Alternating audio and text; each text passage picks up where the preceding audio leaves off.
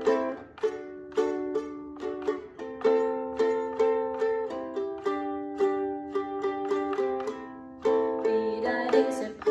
other